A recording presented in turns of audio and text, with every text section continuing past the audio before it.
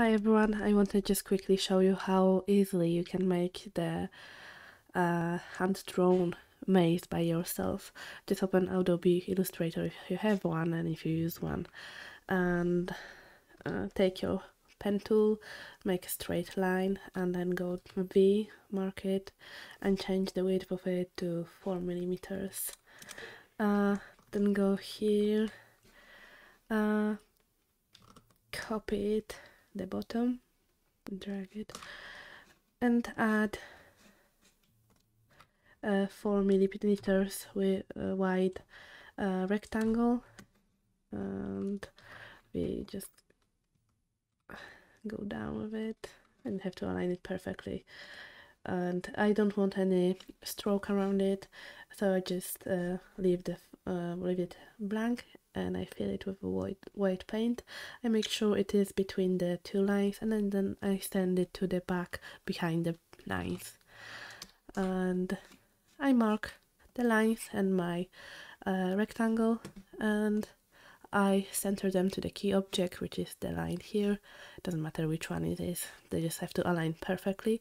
And then I just drag it to the brushes to make custom brushes and I make it pattern brush. Then here I make it auto-centered click OK and I have my custom made uh, brush that I can use for my uh, mazes. Mm, where's my brush I just don't want to select it. Okay, and now I will be drawing the uh, the maze. I'll just make it. I don't know if. Okay, let's do something like this. This is my maze, and you can do it as easy as you want it, or you can make it as hard as you want it.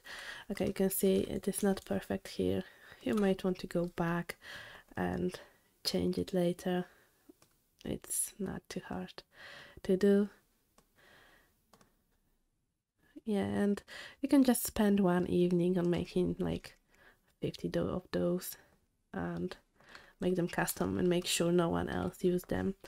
And yeah you can then make something like this. Uh, let's say want this this is your main solution. Then you can go with the second one just going from here. But you can see it is on top of here and it doesn't look that good. Uh, first of all I'll make it bigger.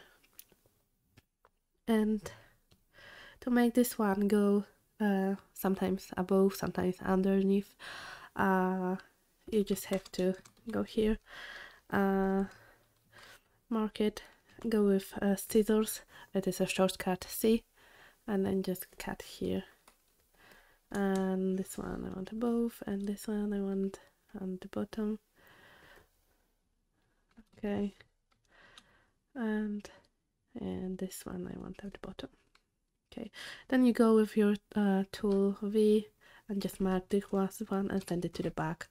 Go above and send it to the back. And go here and send it to the back. And that's it. This is how you made like a one's on one's uh, on top one's on the bottom thing. And if you want to have your solution quick you just uh, control C to copy the your path and then uh, control shift alt and V and paste it in place and then change the uh, your brush stroke to the basic line. And you can change the color to red to make your solution. I'd say this is the right one. So yeah, this is like how simple it can be.